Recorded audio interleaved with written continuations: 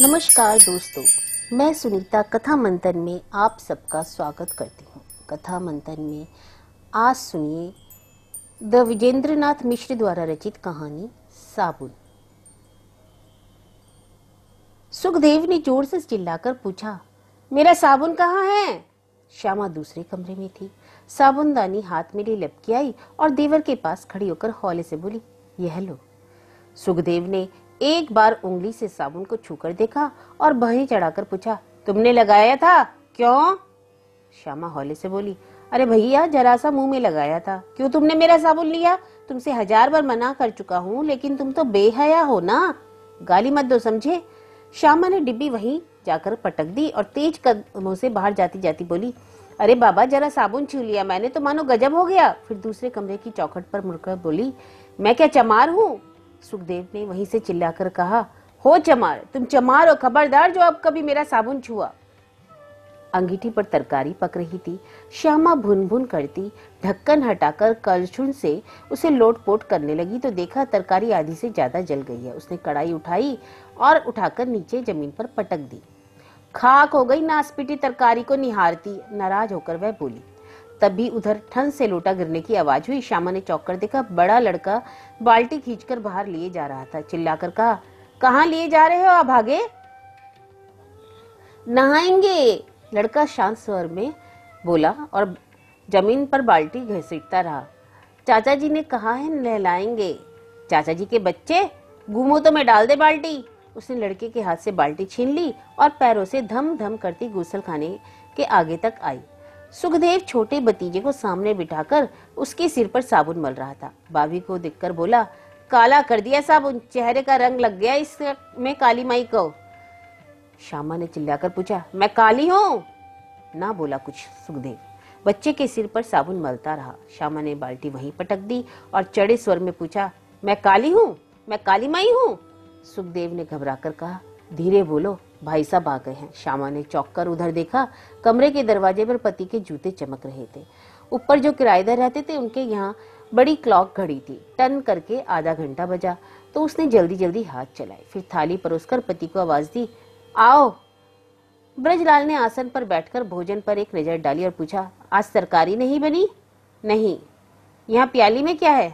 कदुआ है, लल्ला के लिए रख दिया है, दाल से खाओ। पति ने आज्ञा मानकर एक ग्लास मुँह में दिया और शांत भाव से बोले, नमक लाओ। क्या कम है? श्यामा ने नमक की बुकनी थाली में छोड़ते हुए पूछा, बिल्कुल नहीं है। क्यों झूठ बोलते हो? मैंने नमक डाला था, शर्त लगाती हूँ। पति ने हंसकर कहा, यही सही, लेकिन अपनी कुशल चाहो तो पतीली में नमक पीसकर डाल दो। सुखदेव अभी खाने बैठेगा तो फिर आफत आ जाएगी तुम्हारी। श्यामा ने स्वर को चढ़ाकर कहा, क्या आफत आएगी? फांसी दे देंगे मुझे? मैं दासी हूँ ना सबकी? नहीं, तुम तो राजरानी हो। लाओ रोटी दो तो। वे कपड़े पहनकर ऑफ़िस जाने को तैयार हुए तो श्यामा ने चौखट पकड़े पकड़े कहा, मुझे साबुन चाहिए। साबुन? कैसा साबुन? पति ने अचरज से कहा, सुखदेव से कहो, छाता लाओ, वह फ़ाइल उठाना। तभी रसोई घर से एक पुकार आई, भाभी भाभी, खाना परोसो। फिर दो पतली आवाज़ एक साथ आई, भाभी, खाना परोसो। बड़ा लड़का अलग थाली में खाता है, छोटा अपने चाचा जी के हाथ से खाता है। तीनों पास पास नहाए धोए आसनों पर बिराजे भोजन कर रहे थे। बड़े लड़के ने मुँह बिचकाकर कहा, दाल में इतना नमक है कि पूछो मत। श्यामा ने डरते डरते देवर की ओर देखा, पर सुखदेव ने नमक के बारे में कुछ शिकायत ना की। उल्टे भतीजे को डांट कर बोला, खाओ चुपचाप। फिर भाभी के आगे प्याली सरका कर बोला, तरकारी और देना भाभी? भाभी ने हंसकर कहा, तरकारी अब नहीं है। सब खत्म। यह देखो, कढ़ाई आगे खींचकर हंसकर कहा, जल गई सब। यही इतनी बची थी सो तुम्हारे लिए छांट कर निकाल ली थी। देखें, जली हुई का स्वाद देखें। श्यामा ने कढ़ाई पीछे कर कर कहा, यह तुम्हारे खाने के काबल नहीं है। लो, दाल और ले लो। बड़े लड़के ने कहा, मैं भी दाल और लूँगा। श्यामा ने उसके आगे सरका कर कहा, ले, दाल ले ले। लड़का पतीली में झाकर बोला, कहाँ है इसमें दाल? दाल नहीं है, अब तो मेरा सिर खा ले पेटू। छोटे भतीजे के झूठे हाथ धोकर सुखदेव कॉलेज के कपड़े पहनने लगा तो कमीज में एक ही बटन बचा पाया। सुइया डोरा बटन हाथ में लिए भाभी के आगे खड़ा हुआ। श्यामा थाली परोसकर खाना शुरू ही कर रही थी। सुखदेव ने कमीज उसकी गोदी में रखकर कहा, जल्दी जल्दी कर दो ना भाभी। भाभी जल्दी जल्दी बटन टाकने लगी और तब सुखदेव की नज़र भाभी के परेसे हुए भोजन पर गई। तरकारी, जो जलकर काली हो गई थी, अकेली अकेली थाली में सजी थी। तभी भाभी ने कमीज ऊपर करके कहा, लो, थामो, अब मुझे भी पेट में कुछ डाल लेने दो। बड़ा भतीजा बाहर दरवाजे पर खड़ा था। उसके स्कूल की आज छुट्टी थी। कॉलेज जाने लगा तो सुखदेव उसका हाथ पकड़कर खींचता हुआ ले गया और जल्दी जल्दी बड़ी दूर तक। चार मिनट बाद लड़के ने दही का कुल्लड़ माँ के आगे ला धरा। श्यामा उसी जड़ी तरकारी से रोटी खाई जा रही थी। दही देखकर अचरज से पूछा, कहाँ से ले आया रे? लड़का बाहर से भागता भागता बोला, चाचा जी ने दिया है। पड़ोस में रहने वाली पंजाबिन बच्चों के कपड़े बहुत सस्ते सीती थी। उसके आदमी को श्यामा ने पति से आग्रह करके उन्हीं के ऑफ़िस में लगवा दिया था। सुखदेव अपने सब कपड़े जेपी दत्ता कंपनी में सिलवाता था। बच्चों की कमीजें भी पिछली बार उसने वहीं से सिलवाई। वे सब कमीजें पहनने और बच्चों की छोटी हुई और सिलाई लगी इतनी। देवर भाभी में एक द्वंद युद्ध हो गया था। फलतः इस बार बच्चों की कमीजें पंजाबीन को दी श्यामा ने सिलाई ऐसी सुगढ़ हुई कि देखकर दिल खुश हो गया और खुश होकर उसके हाथ आगे एक रुपया धरा और हंसकर बोली, अब की बार मुन्ना के बाबू की कमीजें भी तुम्ही से सिलवाऊँगी बहन। ज़रूर ज़रूर बहन जी, मुझी से सिलवाना बाबू जी की कमीजें परंतु यह रुपया रख लो बहन जी, यह रुपया रख लो। श्यामा ने कहा नहीं बहन, सिलाई तो तुम्हें लेनी ही होगी। पंजाबीन बोली मुझ पर जुल्म ना करो बहन जी। आँखों में आँसू भरकर बोली, जुल्म ना करो बहन जी। मुझ पर ऐसा जुल्म ना करो। मुझे इतना जुदा ना करो। रानी जी, मुन्ना क्या मेरा बेटा नहीं? तुम्हें मेरे सिर की कसम बहन जी, यह रुपया उठा लो। वही एक रुपया था श्यामा के पास और उसी रुपये को लिए सारे दिन घूमती रही कि आज साबुन मंगाकर ही छोड़ूँगी। पर ऐसी तकदीर फिरी कि कोई ना मिला साबुन लाने वाला। तब खींचकर बड़े लड़के को समझा बुझाकर अपनी गली के मोड़ वाली दुकान पर भेजा साबुन लाने और संतोष की सांस लेकर बोली, मन ही मन की सुबह अपनी नई टिक्की से जब नहाऊँगी तो देखूँगी, रोज साबुन लगाकर देखूँगी कि कैसा लगता है। पर लड़के की अकल पर पत्थर पड़ गए। दो आने का कपड़े धोने का बदबूदार साबुन और चौदह आने पैसे माँ के सामने आकर रखकर भाग गया। श्यामा ने वह दो आने का साबुन उठाकर कोने में फेंक दिया और लड़के को कोसती हुई रसोई बनाने लगी। आधा घंटे बाद पति आ पहुँचे और उसके आधा घंटे बाद देवर। खाना तैयार हो चुका था। पति के कोई मित्र आ गए थे और बातों की ऐसी झड़ी लगाए थे, श्यामा दस बार उस कमरे के दरवाजे पर झाँक कर लौट आई। और दो बार लड़के को भी बाप के पास भेजा।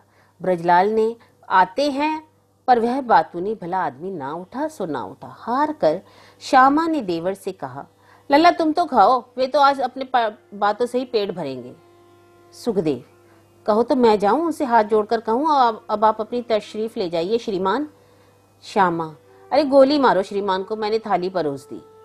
बच्चे कहाँ हैं? श्यामा हंसकर बोली चाचा की ससुराल गए हैं प्रियमवदा का नौकर आया था उनके यहाँ आज कथा है तुम नहीं जाओगे? बको मत सुखदेव ने जल्दी से कौर मुँह में देकर कहा, पानी दो गिलास में। ऊपर पानी बंद हो गया था। ऊपर वाली सेठानी यहाँ बाल्टी लगाए खड़ी थी। हंसकर बोली, माणे भर लेने दो जी। पर सुखदेव ने जल्दी जल्दी पानी पिया और जल्दी जल्दी कमीज पहनकर पैरों में चपले डालकर खड़ा हो गया रसोई घर के सामने। श्यामा जूठी ताली ले, थाली लेकर बाहर निकली और उसे यूँ खड़ा देखकर देखा तो रुक गई। सुखदेव ने हौले से कहा, भाभी? हौले से भाभी बोली, क्यों क्या है? भाभी, आज बड़ी अच्छी फ़िल्म लगी हुई है। तुम जा रहे हो? हाँ पर पैसे नहीं है। भाभी ने सोचकर कहा, चौदह आने से काम चल जाएगा? चौदह आने हैं मेरे पास। लाओ ना, जल्दी लाओ ना। श्यामा ने थाली वहीं रख दी और दौड़ी। जाकर बक्स में से चौदह आने निकाल लाई और देवर की जेब में वे चौदह आने डालकर बोली, हौले से वह उधर वाली कुंडी खटखटाना मैं जागती रहूँगी। सुखदेव ने हौले से कहा अच्छा भाई सब पूछेंगे तो क्या कहोगी?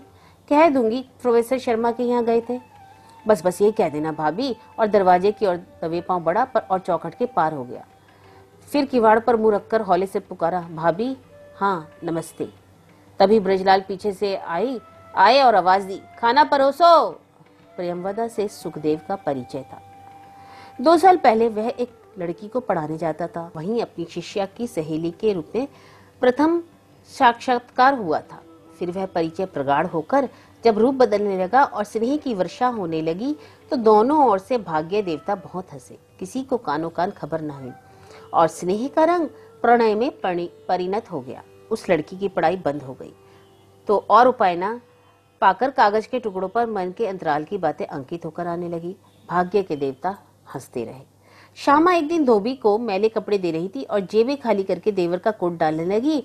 धोबी के आगे तो उनमें एक पत्र पाया जिसमें लिखा था, प्राणों के स्वामी हृदयेश्वर। खूब खुश हुई। सुखदेव को खूब डराया, धमकाया, तुच्छ सा हो गया वह भाभी के आगे। सिर झुका लिया और बार बार उस चिट्ठी को लौटाने की जिद करने लगा। श्यामा ने हँसी रोककर कहा, नहीं, यह चिट्ठी तुम्हें नहीं, तुम्हारे भैया को दूँगी। जरा आटे दाल का भाव तो पता चले? सुखदेव से और कुछ ना बन पड़ा। भाभी के पैरों पर अपना सिर रखकर रोने लगा। ऐसा कायर निकला प्रेमी? उसी दिन से भाभी नर्म सचिव हो गई। उन्हीं की सलाह से सब काम होने लगा। एक दिन नुमाइश में दूर से प्रेमवदा के दर्शन भी करा दी भाभी को। घर लौटने लगे तो राह में भाभी चलती चलती बोली, हे hey भगवान, यही तुम्हारी प्रियमवदा है? रूप की जोत लिए सारी नुमाइश को चकाचौंध किए थी हाय राम, मैं तो उसके पैरों की धोबन भी नहीं हूँ। कैसे उसकी जेठानी बन पाऊँगी? मुझे जीजी कहते हुए भी घिनाएगी नहीं? मुझे देखकर हंसेगी? सुखदेव सुनकर हौले से बोला, गला ना काट लूँगा? किसका गला काट लोगे? मेरा? पर सुखदेव कुछ ना बोला। दूसरे दिन प्रेमवदा का नौकर श्यामा को एक छोटी सी पाती दे गया, जिसमें जीजी के चर, चरण कमलों में दासी प्रेमवदा के प्रणाम की बातें लिखी थी और लिखा था अभागिन से ऐसा क्या अपराध हो गया जो इतने निकट आकर भी राज राजेश्वरी माता बिना दर्शन दिए चली गई? एक बार चरणों की रज अपने माथे पर लगा लेती तो जीवन किताड़ हो जाता अपना। पर राज राजेश्वरी का यहाँ हाल था कि तन पर कभी पूरे कपड़े भी नहीं हो पाते हैं। ठंड पड़ने लगी और सुबह तड़के तड़के नहाकर रसोई चढ़ाते जब श्यामा को कपकपी लगने लगी तो उसने याद करके देवर का बक्सा खोला और वह पुराना स्वेटर निकाल लिया, जिसे कीड़ों ने जगह जगह काटकर तरह के वातायन और गवाक्ष बना दिए थे हवा आने जाने के लिए। उसी स्वेटर को रोज सुबह पहन लेती और गर्मी पाकर कहती, चलो अच्छा है, यह जाड़ा मज़े में काट देगा। रात को सिनेमा देख सुखदेव ने और सुबह सूरज चढ़े तक गहरी नींद ली। फिर भी देह का आलस्य न गया। एक जमाई लेकर छोटे भतीजे से बोला चलो बेटा चाय पिए लड़का कूद कर बोला, चाचा जी बिस्कुट भी खाएँगे ना? सहसा सुखदेव को याद आया कि चाय वाले के नौकर को उसने अपना पुराना स्वेटर देने का वायदा किया था। वह बक्सा खोलकर पुराना स्वेटर खोजने लगा, पर स्वेटर ना मिला। एक एक करके सारे कपड़े बाहर निकालकर फेंक दिए, पर स्वेटर के दर्शन ना हुए। कहाँ गया? भाभी रसोई घर में बैठी दाल बीन रही थी। उनसे आकर पूछा, मेरा स्वेटर था ना, एक पुराना? मैंने ले लिया। अरे, तुमने कैसे ले लिया? सुखदेव ने माथे पर बल डालकर कहा, तुमने क्यों खोला मेरा बक्सा? क्यों ले लिया मेरा स्वेटर? अरे, बेकार पड़ा था, इसलिए निकाल लिया। मुझसे बिना पूछे तुमने ले कैसे लिया? मेरी चीज़ों को तुम छूती क्यों हो? भाभी सुनकर चुप रही। कहा है स्वेटर? लाओ दो। चलो, अपने कमरे में लाई देती हूँ स्वेटर। नहीं, यही ला कर दो, अभी फ़ौरन। भाभी ने इधर की पीठ करके स्वेटर उतारा, फिर उधर को मुँह करके शांत स्वर में कहा, यह लो। और नतमुख किए हौले से कहा बाकी कपड़े भी उतरवा लो तन से। सुखदेव क्षण भर भौचक्का सा रह गया। स्वेटर सामने पड़ा था और भाभी सिर झुकाए फिर दाल बीनने लगी थी। सुखदेव, वह स्वेटर उठाने लगा तो एक बार भाभी के झुके मुख की ओर देखा। आँखों से आँसू टपक रहे थे भाभी के। वही कल वाला बातूनी आदमी आज सुबह होते ही फिर आधम का। ब्रजलाल को अपने साथ ले गया। सड़क तक बातें करते करते साढ़े नौ बजे उधर से लौटे तो हंस रहे थे। खाने बैठे तब भी हंस रहे थे। हँसते गए और खाते गए और खाते खाते ही बोले हंसकर तुम्हारी देवरानी को देखा है? श्यामा तब से गुमसुम बैठी थी। वह सुनकर कुछ ना बोली। पति ने हंसकर कहा लड़की जरा उठ, उठते कद की है? सुखदेव के कंधे तक समझो। श्यामा ने फिर भी कुछ ना कहा। पति हंसकर बोले पैसा बहुत है उसके पास। सुखदेव को विलायत भेजने को तैयार है। एक मकान दहेज में देने को कह रहा है। श्यामा फिर चुप रही। ब्रजलाल ने खाना समाप्त करके पानी पिया और उठ गए। घड़ी की ओर देखते गए, कपड़े पहनते गए, फ़ाइल संभाली और फिर शीशे में अपना मुँह देखकर बाहर को बढ़े कि श्यामा ने रास्ता रोक लिया। मेरे लिए एक स्वेटर ला दो। स्वेटर? क्या कह रही हो? मुझे ऑफ़िस को देर हो रही है और तुम स्वेटर की फरमाइश कर रही हो। सुखदेव से कहो। श्यामा ने सिर झुकाकर कहा तो फिर मुझे कुछ रुपए दे दो, मैं मंगवा लूँगी किसी से। किसी से क्यों? ब्रजलाल ने जल्दी से एक रुपए का नोट निकाल कर कहा, सुखदेव ले आएगा। लो, थामो। है कहाँ सुखदेव? पर सुखदेव का पता ना था।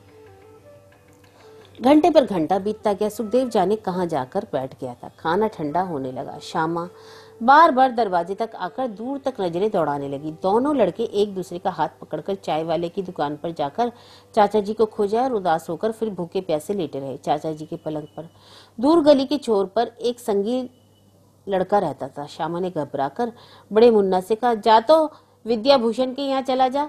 भैया, कहियो कि हमारे चाचा जी अभी तक घर नहीं लौटे। तुमको मिले थे? कहाँ गए हैं चाचा जी कहियो कि हमारे माँ बहुत घबरा रही है।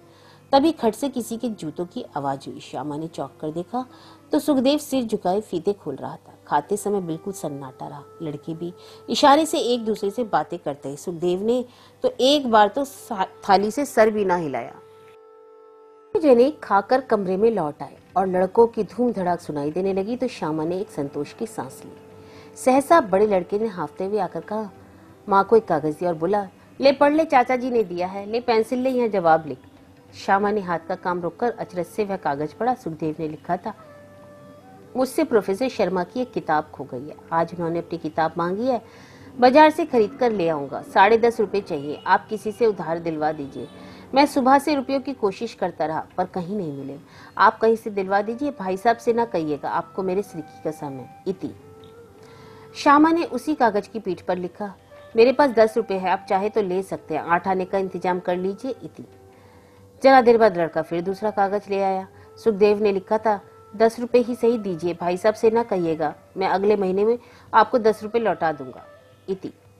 श्यामा ने दूसरी ओर लिखा, मैं आपके भाई साहब से ना कहूँगी। आप ये रुपये मुझे अब लौटाइएगा नहीं। आपको मेरे सिर की कसम है। समाप्त। शाम को सुखदेव कॉलेज से लौटा तो घर में कोहराम मचा था। बड़ा लड़का मुन्ना बाहर आँगन में खड़ा रो रहा था और भाभी वाले कमरे में छोटे की चीख पुकार सुनाई दे रही थी। हाय चाचा जी, हाय चाचा जी। सुखदेव ने घबरा कर मुन्ना से पूछा, क्या हुआ रे? मुन्ना रोता रोता बोला, अम्मा ने उसे बहुत मारा है रस्सी से बाँध रही है। सुखदेव ने जल्दी से किताबें अलमारी में फेंकी और जूता बिना उतारे फड़ाक से किवाड़ खोलकर भीतर जा खड़ा हुआ, जहाँ भाभी छोटे भतीजे के दोनों को मलहत रस्सी से बाँध रही थी और मुझसे कहती जा रही थी, बुला चाचा जी को, देखो कौन तुझे बचाता है और चिल्ला और पुकार चाचा जी को सुखदेव ने धक्का देकर श्यामा को पीछे धकेल दिया और जल्दी जल्दी बच्चे के हाथ खुलकर उसे कलेजे से लगा लिया। बच्चा चाचा जी से लिपटकर खूब फूट फूट कर रोने लगा। आँखों में आँसू भरे। सुखदेव ने भाभी की ओर निहार कर पूछा, क्यों मारा तुमने इसे? भाभी ना बोली, हाथ पर हाथ धरे बैठी रही। क्यों मारा तुमने इसे? भाभी ने हाथ उठाकर कहा, जरा अपने कमरे में तो जाकर देखो, तुम्हारी भरी दवात उलट दी नासपीटे ने। एक रुपए का नुकसान कर दिया। सिर्फ़ इसलिए तुमने मारा उसे? क्यों? भाभी चुप रही। सुखदेव ने कहा, आज माफ़ करता हूँ, आइंदा जो तुमने बच्चे पर हाथ चलाया तो मैं खाना छोड़ दूँगा, समझी? फिर भी भाभी ना बोली। सुखदेव ने बाहर जाते जाते कहा, हत्यारी ने जरा सी दवात के पीछे अधमरा कर दिया मेरे लड़के को, और वह बच्चे को पुचकारता हुआ बाहर आँगन तक आया। तो एक किनारे हाथ में ढका थाल लिए प्रेमवदा के, का नौकर खड़ा पाया। तब वह भाभी को एक आवाज़ देकर भतीजे के लिए अपने कमरे में आकर टहलने लगा। प्रियंवदा के यहाँ भोज हुआ था। बच्चों को बुलाया था, पुरुषों को बुलाया था और स्त्रियों को भी बुलाया था। बच्चे, पुरुष, स्त्री कोई भी न गया यहाँ से। दुखी होकर प्रेमवदा ने स्वयं भोजन न किया। फिर उदास होकर नौकर के हाथ बच्चों के लिए मीठा भिजवाया। अपनी माँ से कहकर। नौकर थाल हाथ खाली करके हाथ जोड़कर विनय के स्वर में श्यामा से बोला, माँ जी, आपको बीबी जी ने बुलाया है। जब कहीं मैं आपको लिवा ले चलूँ। एक दिन चलकर हमारी झोपड़ी पवित्र कर दीजिए। श्यामा को बहुत अच्छा लगा। प्रसन्न होकर बोली, अरे, वह तो मेरा अपना ही घर है, तू ऐसी बातें मत कह। तो नौकर हाथ जोड़कर बोला, कब चलेंगी माँ जी श्यामा ने अधीर भाव से कहा, कल इतवार है ना, इन लोगों की छुट्टी होगी, कल ही चलूँगी तो दोपहर को आ जाना, खा पी कर चलूँगी। नौकर सिर हिलाकर बोला तो नहीं होगा माँ जी वहीं जीमिएगा रूखा सूखा जो हम कुछ गरीबों के घर बने। अच्छा ठीक है, यही सही, श्यामा ने हंसकर जवाब दिया। उस शाम ब्रजलाल देर से घर लौटे। वह बातूनी फिर मिल गया था रास्ते में। खूब भूखा गए थे। आते ही बोले, खाना लाओ, यही कमरे में ले आओ। श्यामा ने दृढ़ स्वर में कहा, खाना नहीं है। पति ने अचरज से पूछा, क्यों? अभी तक खाना नहीं बना? बना है, लेकिन तुम्हारे लिए नहीं है। अरे, क्या बक रही हो? जाओ थाली बरोस कर लाओ। श्यामा पास वाली कुर्सी पर धम से बैठ गई हाथ उठाकर बोली, पहले एक बात का फैसला कर दो, तब खाना लाऊँगी। क्या है? बोलो, इस घर की मालकिन कौन है?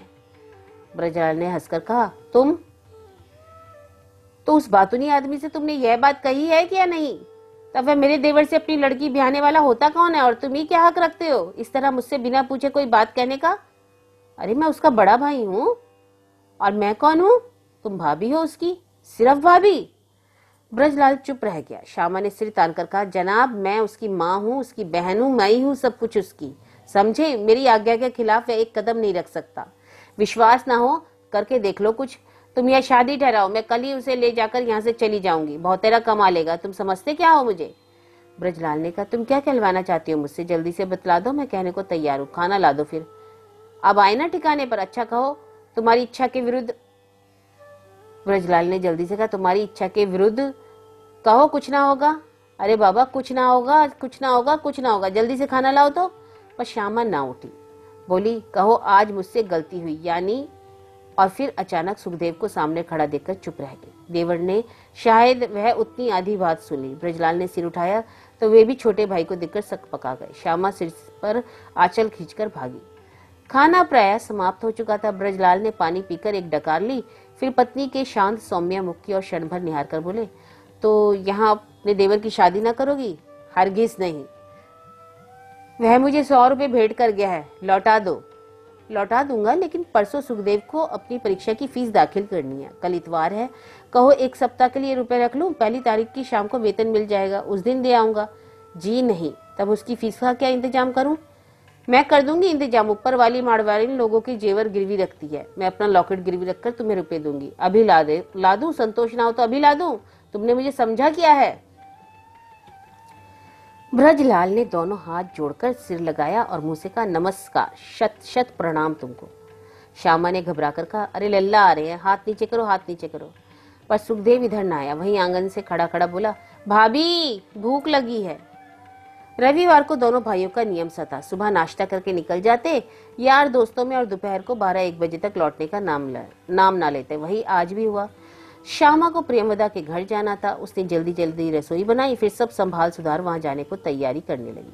शीशे के सामने खड़ी हुई भावों के नीचे से गाल तक कालिक लगी दिखी। हथेली रगड़ रगड़ कर उस कालिक को मिटाने लगी, आँखें मीचकर काफ़ी देर तक रगड़ा, फिर जो आँखें उधर की तो शीशे में देखा तो की तरफ़ देखी तो सन रह गई। सारा चेहरा काला हो गया था। सारे चेहरे पर कालिक फैल गई थी। श्यामा ने घबराकर चारों ओर नज़रें दौड़ाई। कि कहीं कोई देख तो नहीं रहा, फिर जल्दी से साबुनदानी उठाकर गुसल खाने की ओर भाग गई। मुँह धोया साबुन से, हाथ धोए साबुन से, फिर पैरों की ओर नज़र गई तो पैर भी बहुत गंदे दिखे। तब पैरों पर भी साबुन मलने लगी। सहसा बाई और किसी की परछाई देखकर श्यामा ने साबुन मलते मलते उधर को मुँह किया तो हाथ जहाँ के तहां रुक गए और आँखों के आगे अंधेरा छाने लगा। सामने नंगे बदन कंधे पर धोती तौलिया डाले सुखदेव कड़ा था निश्चल निर्वाक। श्यामा ने से कुछ ना बन पड़ा। यूँ ही पैर पर साबुन लगाए बैठी रही। आखिर सुखदेव ने ही निस्तब्धता तोड़ी। मुस्कुराकर मुँह खोलकर बोला, बैठी क्यों हो? पैर धोकर हटो। तब मानो श्यामा की चेतना लौटी। होठों पे तनिक मुस्कुराई और जल्दी जल्दी पैर धोकर उठाई। वहाँ से कमरे में आकर शीघ्रता से साबुन की टिक्की, एक कपड़े पर दबा दबा कर सुखाई, फिर बड़े जतन से उसे साबुनदानी में रखकर ले आई। सुखदेव पाइप खोलकर खड़ा था और जाने क्या सोचता पानी की धार को देख रहा था। खट से भाभी ने पैरों के पास वह साबुनदानी रख दी और लौट चली, लंबे ढक भरती भरती। सुखदेव क्षण भर साबुनदानी को निहारता रहा। फिर उसने नीचे झुककर साबुन की टिक्की उठा ली और फिर तड़ित वेग से दूर जाती भाभी की ओर वह साबुन फेंक दिया, ज़ोर से। पर साबुन भाभी को न लगा। जाने कैसे उसी क्षण ऊपर वाले मारवाड़ी सेठ सामने आ पहुँचे और जाने कैसे वह साबुन सेठ जी की तौंद पर फटाक से लग गया। अरे मार डाला, अरे मार डाला। सेठ जी वहीं पेट पेट पकड़कर बैठ गए। श्यामा ने पीछे घूमकर देखा। सुखदेव ने भी देखा घबरा कर वह सेठ जी के पास दौड़ा आया और दोनों हाथों से उनकी वजनी देह उठाता हुआ बोला, अभी इधर एक ना बंदर कूदा था, मैंने देखा था, उसके हाथ में यह साबुन था। सेठ जी ने एक हाथ की टेक ज़मीन पर लगाई और दूसरे हाथ में वह साबुन पड़ा, उठा लेकर बोले, किसी तरह। और फिर उन्होंने साबुन को लोटपुट कर निहारा और बोले सामणते नहीं हो छे आने का माल देगी ओ हनुमान। सेठ जी साबुन लेकर चल दिए। सुखदेव और श्यामा देखते रह गए। आखिर प्रेमवेदा का नौकर आ गया। बुलाने श्यामा ने दोनों लड़कों को सजा सुजू कर बाहर खड़ा किया फिर डरती डरती देवर के पास आकर बोली, जरा अपना रुमाल दे दोगे? क्यों तुम्हारा रुमाल क्या हुआ? मेरे पास कब था रुमाल? तो यूँ ही जाओ। दे दो ना जरा देर के लिए। नहीं दूँगा रुमाल, चलो जाओ यहाँ से। श्यामा ने ऊपर हाथ रखकर कहा, धीरे से बोलो, नौकर बाहर खड़ा है। अरे, नौकर की तो ऐसी की तैसी। श्यामा घबरा कर निकल आई। प्रियमदा ने उसी विनम्र टोन में कहा, मैं सच कह रही हूँ दीदी, ना जाने कितनी बार उनके मुँह से यह बात सुन चुकी हूँ कि मेरी भाभी के सामने लक्ष्मण की सीता भी तुच्छ है। कितनी ही बार तुम्हारी बड़ाई करते करते तुम्हारी बातें सुनाते सुनाते आँखों में आँसू भर लाए और भरे गले से कहा है कि भाभी मेरी इस धरती माता की तरह है। ऐसी ही सहनशील, ऐसी ही विशाल, ऐसी ही महान मुझे कहते थे कि उनकी सेविका बनकर जीवन सफल कर लेना अपना। तुम्हारे जन्म जन्मांतर के पाप धुल जाएँगे। कहते कहते प्रेमवदा का सवर करुण हो उठा नयन गीले हो गए। श्यामा ना बोली, बोल ही नहीं पा रही थी। उसके कंठ में जाने क्या अटक गया था? फिर रुक रुक कर बड़े गले में बोली, मैंने जाने कितने पुण्य किए थे उस जन्म में, जो ऐसे पति और दीवर पाए। सच मानो बहन वे लोग देव योनि के हैं। राह की धूल उड़कर राज मुकुट से जा लगी, पर मुकुट तो मुकुट ही है सखी, और धूल धूल। प्रियमवदा की आँखें सजल हो गई। उन्हीं आँखों, उन्हीं सजल आँखों से दीदी का सौम्य मुख निहार कर बोली, दीदी तुम देवता के कंठ की वरमाला हो, राह की धूल तो मैं हूँ, जो चरणों से लगकर पवित्र हो गई, कहकर उसने श्यामा के पैरों से उंगलियाँ लगाकर माथे से छुआ ली। तभी छोटा लड़का घर की पालतू बिल्ली को गोद में लिए आ खड़ा हुआ। प्रेमवदा ने दोनों हाथ बढ़ाकर उसे गोदी में खींच लिया। फिर दो बार उसके शुभ्र सुंदर कपोलों का चुम्बन करके बोली, तुम्हारा क्या नाम है भैया? लड़के ने ऊपर मुँह करके कहा, पहले तुम अपना नाम बतलाओ। प्रेमवदा हंसने लगी। श्यामा ने हौले से कहा, ये तुम्हारी चाची जी है, समझे? फिर प्रेमवदा की स्वच्छ साड़ी की ओर देखकर बोली, बेशरम, चमार गई कि साड़ी साड़ी गंदी कर दी पैरों से, उतार दो बहने से लड़का प्रेमदा के गले से लिपट कर बोला, नहीं उतरूँगा, ये चाची जी की गोदी से नहीं उतरूँगा। प्रेमवदा ने पुलकित होकर बच्चे को फिर चूम लिया और हौले से कहने लगी, मेरा राजा भैया, विलायत पढ़ने जाएगा, बैरिस्टर बनेगा ना? लड़के ने कहा, नहीं, मैं तो प्रेसिडेंट बनूँगा। श्यामा हंसने लगी और हँसते हँसते बोली, यही सब रटा दिया है चाचा जी ने। प्रियमदा पुलकित होकर बोली, कहते हैं कि मेरे जीवन की सबसे बड़ी साधि यही कि मैं इन दोनों को बड़ा आदमी बना दूँ। भैया ने आधे पेट रहकर पसीना भाकर मुझे आदमी बनाया। मैं अपने तन का रक्त देकर बच्चों के व्यक्तित्व को महान कर सका तो जीवन सफल समझूँगा। क्यों विलायत जाएगा ना? लड़के ने प्रेमदा की गोदी में सिर छिपाकर कहा, नहीं चाचा जी तो मुझे अमेरिका भेजेंगे, हवाई जहाज़ से जाऊँगा। तुम कभी बैठी हो चाची जी हवाई जहाज़ में? तभी सहसा प्रेमवदा की माँ ने आकर कहा, बेटी, चलो खाना खाओ। रमा शंकर प्रेमवदा का बड़ा भाई था। उसकी चौक में बहुत सी दुकानें थी। पत्नी उसकी मर गई थी। घर का करता धरता वही था। रमा शंकर व्यस्त होकर श्यामा के लिए स्वयं थाली लगा रहा था कि वह आ पहुँची। अम्मा जी भीतर जाने क्या लग... लेने गई? चट से श्यामा कढ़ाई के पास आ बैठी और एक पूरी बेलकर गर्म घी में छोड़ दी और प्रसन्न मुद्रा में बोली, भाई आज भैया को मैं बनाकर खिलाऊँगी। उसी सजी थाली में रमाशंकर भैया को खिलाकर श्यामा चूल्हे के पास से उठाई। फिर पास खड़ी प्रेमवदा का हाथ पकड़कर खिंचती हुई बोली, आओ सखी, मुझे तो बड़ी जोरों की भूख लगी है। फिर भाई वही भैया की झूठी थाली आगे को खींचकर और पुकार कर कहा, अम्मा, हम लोगों को खाना परोस जाओ। अम्मा ने धड़कता कलेजा लिए पूछा तो फिर बेटी मैं कल रमा को भेजू बड़े दमाद के पास? श्यामा ने भोई से कुड़कर कहा, बड़े दामाद? कौन खेत की मूली है, अम्मा? तुम बड़ी बेटी की इज़्ज़त गिराओगी क्या? तुम्हारी बड़ी बेटी ने जो कुछ कह दिया उसे पत्थर की लकीर समझो। अम्मा मुँह देखने लगी बड़ी बेटी का। बड़ी बेटी ने तब तनिक नाराज़ से होकर कहा, तुम्हें यकीन नहीं हुआ, अम्मा? अरे, मैं कहती हूँ, सुखदेव के साथ प्रेमवदा की शादी होगी होगी तो होगी, बस। रमाशंकर भी पास खड़ा हुआ था। श्यामा ने उसकी ओर देखकर पूछा, भैया, अपनी दुकान पर साबुन भी बिकता है ना? बहुतेरा? बहुतेरा साबुन है तुम्हारी दुकान पर? साबुन की तो एजेंसी तक है।